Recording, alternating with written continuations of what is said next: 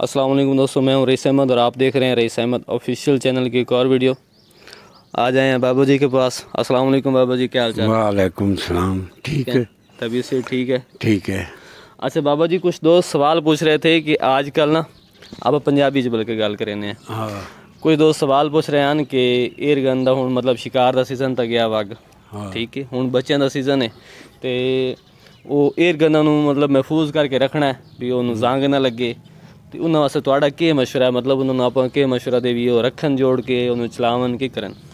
ਸਭ ਤੋਂ ਵੱਡੀ ਗੱਲ ਇਹ ਹੈਗੀ ਹੈ ਕਿ ਹਥਿਆਰ ਜਿਹੜਾ ਵੀ ਉਹ 에ਅਰਗਨ ਇੱਕ ਹਥਿਆਰ ਹੈ। ਹਾਂਜੀ। ਉਹ ਅਗਰ ਤੁਸੀਂ ਉਹਨੂੰ ਮਾੜਾ ਤੇਲ ਲਾਓ। ਤੇਲ ਲਾ ਕੇ ਉੱਤੇ ਟਾਕੀ ਫਿਰ ਉਹ ਰੱਖ ਲਿਓ। ਉਸ ਤੋਂ ਬਾਅਦ 8 ਦਿਨਾਂ ਬਾਅਦ 10 ਦਿਨਾਂ ਬਾਅਦ ਇੱਕ ਲਿਮਟ ਬਣਾ ਲਓ ਬਈ ਅੱਜ ਅਸਾਂ ਮਤਲਬ ਜਿਸ ਟਾਈਮ ਤੁਹਾਡੇ ਕੋਲ ਹਫ਼ਤੇ 'ਚ ਇੱਕ ਦਿਨ ਟਾਈਮ ਹੋਵੇ।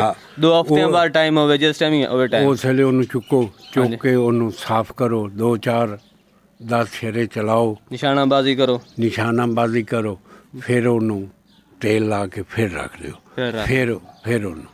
ਸਹੀ। ਮ- ਫਿਰ ਰੰਗ ਨਹੀਂ ਲੱਗੇਗਾ।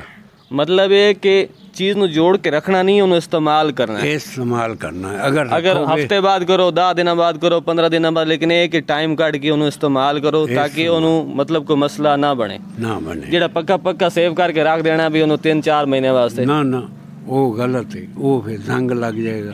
ਜ਼ੰਗ ਲੱਗ ਜਾਏਗਾ। ਉਹ ਖਰਾਬ ਹੋ ਜਾਏਗੀ। ਮਤਲਬ ਜੋ ਮਰਜ਼ੀ ਕਰ ਲਓ ਜ਼ੰਗ ਲੱਗ ਜਾਂਦਾ ਅਗਰ ਤੁਸੀਂ ਚੀਜ਼ ਨੂੰ ਰੱਖ ਦਿਓਗੇ। ਉਹਨੂੰ ਕਮ ਸ ਕਮ 15 ਤੋਂ 20 ਦਿਨਾਂ ਦੇ ਵਿੱਚ ਵਿੱਚ ਇੱਕ ਦਫਾ ਚਾਓ। ਉਹਨੂੰ ਚਾਹੋ ਕਪੜਾ ਫੇਰੋ ਫਿਰ ਰੱਖ ਦਿਓ। ਹਾਂ। ਥੋੜਾ ਚਲਾਓ ਨਿਸ਼ਾਨੇਬਾਜ਼ੀ ਕਰੋ ਫਿਰ ਰੱਖ ਹਾਂ, ਦਿਓ ਫਿਰ ਰੱਖ ਦਿਓ ਜ਼ਬਰਦਸਤ ਹੋ ਗਿਆ ਬਾਬਾ ਜੀ ਆਵਾਮ ਬੜੀ ਪੁੱਛ ਰਹੀ ਹੈ ਨਾਲੇ ਤੁਹਾਡਾ ਦੀਦਾਰ ਵੀ ਕਰਨਾ ਚਾਹੁੰਦੀ ਹੈ ਮੈਂ ਕਿਹਾ ਚਲੋ ਇੱਕ ਵੀਡੀਓ ਹੋ ਜਾਵੇ ਨਾਲੇ ਇਹ ਚੀਜ਼ ਜਿਹੜੀ ਹੈ ਨਾ ਉਹ ਐਵੇਂ ਦੀਦਾਰ ਕਰਨਾ ਚਾਹੁੰਦੀ ਆਵਣ ਤਾਂ ਸਹੀ ਨਾ इनके बाबा जी तोड़ मिला ना मैंने ਹਾਂ ਉਹ ਰੋ- जी दोस्तों तो बाबा जी आपको इनवाइट कर रहे हैं मिलने आए दीदार कराएं करें भी सही और खाएं पिएं थोड़ी बिल्कुल। गुफ्तगू वो ठीक है ਬਿਲਕੁਲ ਬਿਲਕੁਲ ਜੀ, ਮਾਸ਼ਾਅੱਲਾ, ਜ਼ਬਰਦਸਤ ਹੋ ਗਿਆ। ਵੀਡੀਓ ਚੰਗੀ ਲੱਗੀ ਹੋਵੇ ਤਾਂ ਲਾਈਕ ਕਰ ਦਿਓ ਤੇ ਮਜ਼ੀਦ ਇਸ ਤਰ੍ਹਾਂ ਦੀ ਹੋਰ ਵੀਡੀਓ ਵੇਖਣ ਵਾਸਤੇ ਚੈਨਲ ਨੂੰ ਸਬਸਕ੍ਰਾਈਬ ਵੀ ਕਰ ਦਿਓ। ਠੀਕ ਹੈ।